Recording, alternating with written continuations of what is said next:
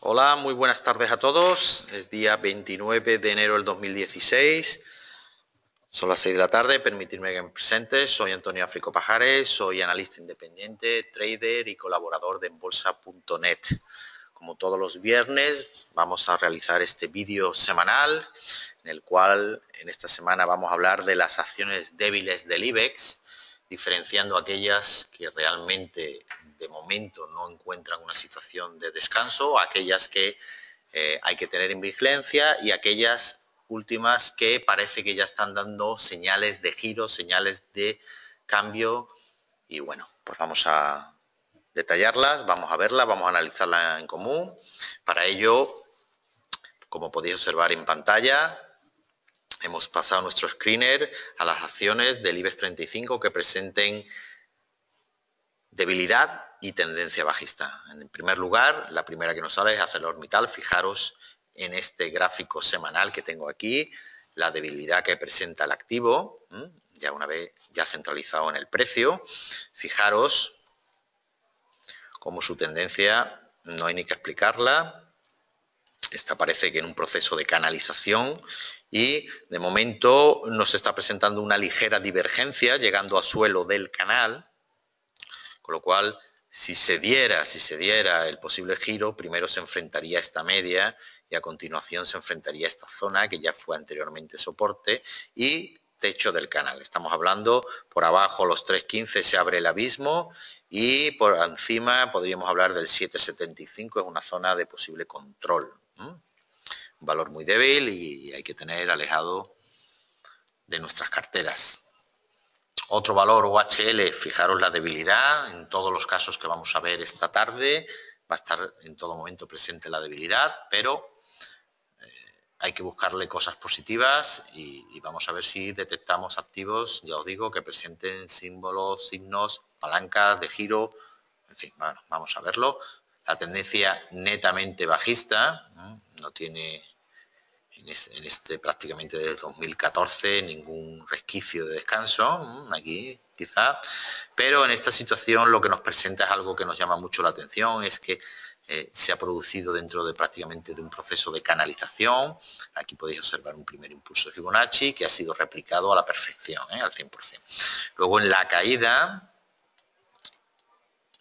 no ha tenido descanso, y ahora se nos presenta una situación, nos da una palanca de giro, una palanca de control, porque presenta una divergencia en su MAC frente a la divergencia de precio bajista frente a este alcista, lo que nos pudiera animar a un posible rebote del activo. Si tratamos aquí de una directriz, fijaros que primero se enfrentaría a ella dentro de la debilidad que el precio manifiesta, pero en fin, hay señales de posible descanso de esta tendencia bajista. Y la primera zona a controlar, pues estamos hablando de en torno al 790, 780 y todo lo que sea perder por debajo de los 408, pues, pues iría a buscar prácticamente los 284, que es su mínimo anterior. Muy débil el valor para tenerlo fuera de nuestras agendas. Otro valor que presenta debilidad fijaros, ¿eh? la debilidad manifiesta de SACIR.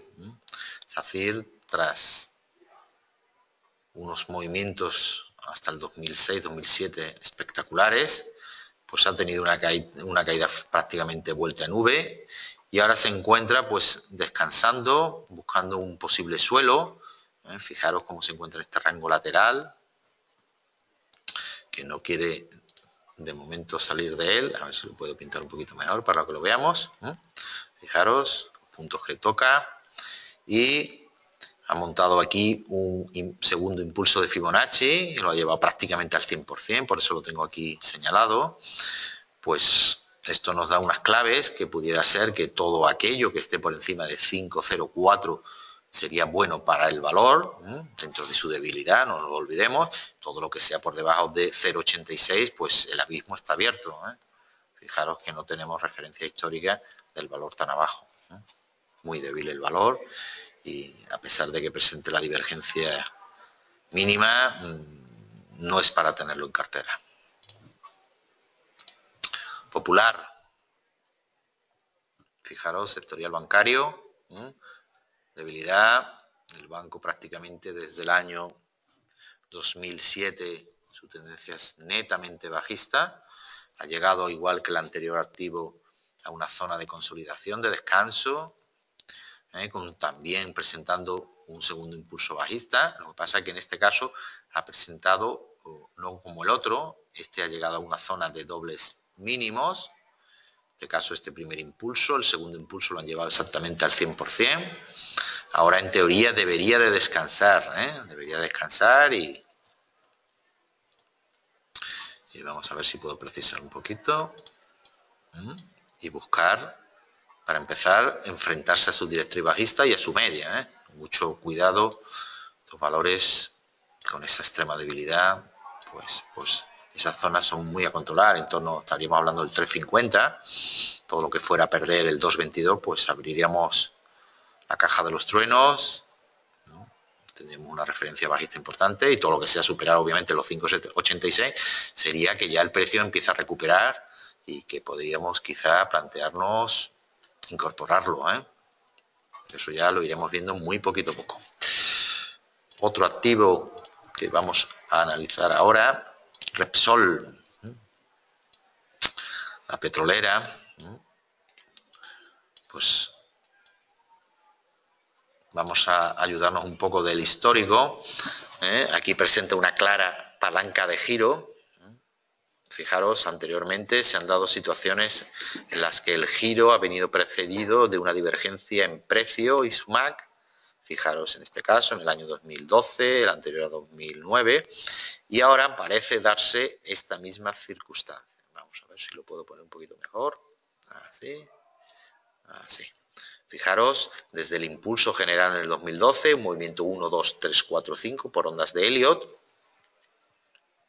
Y ahora mismo pues se encontraría en el desarrollo de este proceso correctivo A, B, C, D, E. ¿eh? Fijaros que la E nos la han llevado a un grado de eh, similitud entre la A y la E del 161, en una zona que anteriormente fue claramente soporte. Con lo cual, no es descartable que el precio pues, tenga un desarrollo alcista. Para empezar, se enfrentaría a esta directriz acelerada. Estamos hablando de en torno a los 9,82. ¿eh? Y ya, pues, esta zona de balance, esta zona de control sería observar, estamos hablando de los 10.50 y los 12.24, todo lo que sea superar esto, animaría al precio de este título a retomar el alza. A continuación, Acerinox. La debilidad va a estar presente, como hemos comentado, en todos los activos. El precio de esta cotizada española, pues fijaros, vamos a irnos prácticamente al año 2013, esta es una zona de descanso, consolidación, ha hecho un movimiento 1, 2, 3, 4, 5 y ahora se encuentra en un movimiento correctivo tras todo este impulso a, B, C, D, E. ¿eh? Fijaros, A, E. Da la casualidad que la A tiene la misma proporción que la E, ¿eh? cumpliendo una de las reglas de igualdad. Y lo más importante, presenta una divergencia en precio y en su indicador MAC, lo cual nos anima a pensar que esto es una zona de giro, como así se está produciendo en este valor. Fijaros, en ¿eh? la subida, movimientos alcista. Zonas a controlar si somos poseedores de estos títulos, pues vamos a trazar una directriz. Pudiéramos estar hablando en torno a los 9.20. Fijaros que aquí una zona donde hubo un balance ¿eh? entre compradores y vendedores. Que además coincide con un máximo anterior, en torno a los 9.38. Y luego los 9,88. Esas son las zonas de control. ¿eh?